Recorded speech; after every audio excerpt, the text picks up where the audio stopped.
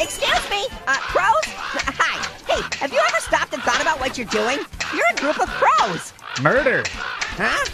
A group of crows is called a murder You eat my You're telling me? No!